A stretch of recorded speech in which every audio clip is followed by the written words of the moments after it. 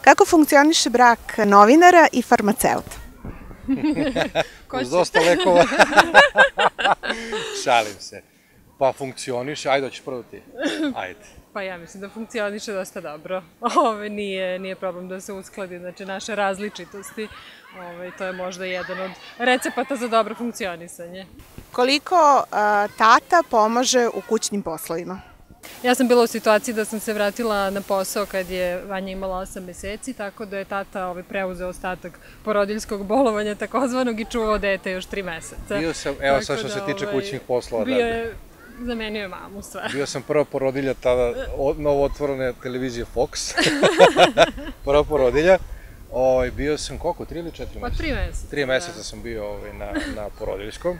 Tako da je odlično savladao. Da, i onda sam potrebno. shvatio kako je to biti žena. Odnosno majka, da to kad je rekao Bale Vukašilović, kad je pitao doktora, ali ovaj, zaista ujutru sam se budio, hranio dete, ona je odlazila na posao, ja sam onda odlazio na pijacu, u prodavnicu, onda je pozovem šta želi za ručak.